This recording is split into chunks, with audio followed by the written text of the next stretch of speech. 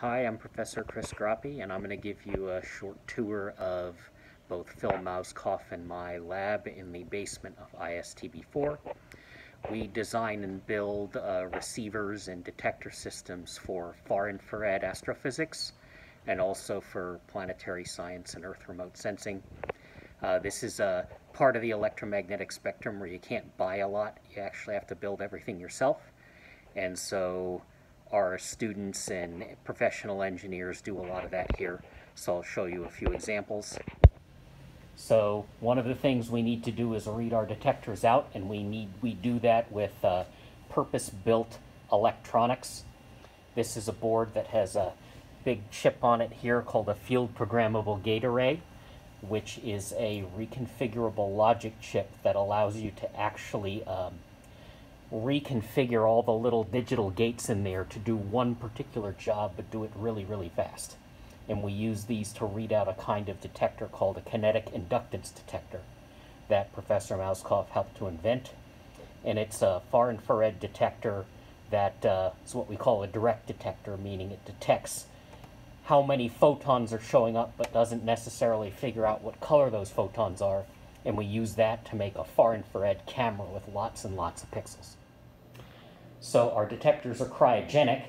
We need to get them really, really cold because they're superconductors. The superconducting band gap in a superconducting material is very, very small. So the wimpy far infrared photons can break the Cooper pairs in the superconductor, and you can then uh, use that effect to figure out how many photons are hitting. So this is an example of what we call a cryostat, and uh, this is a system that can get what's the this plate here down to below about 300 millikelvin. So on the bottom here, there's a mechanical refrigerator.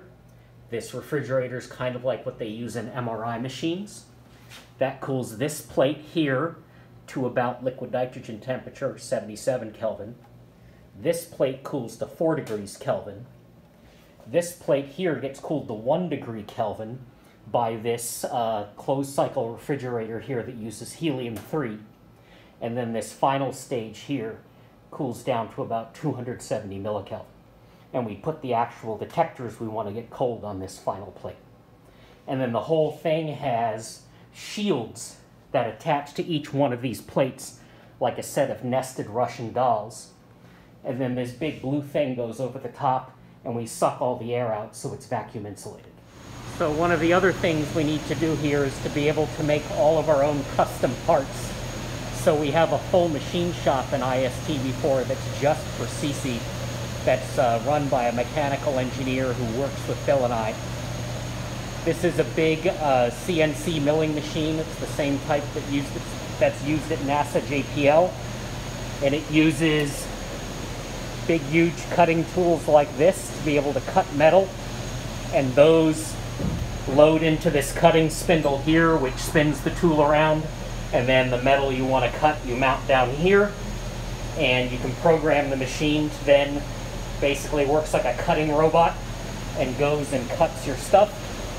Um, but it's not like a 3D printer. It actually takes pretty highly skilled engineer to program this machine.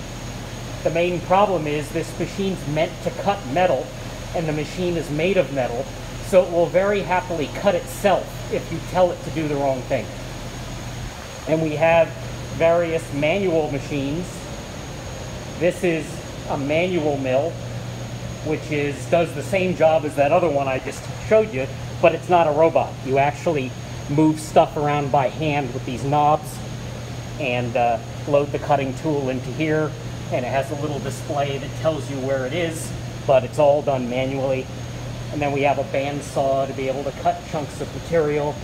We have a CNC lathe, which is designed to make round parts that you put the thing you want to cut here and can uh, spin it around and cut round stuff.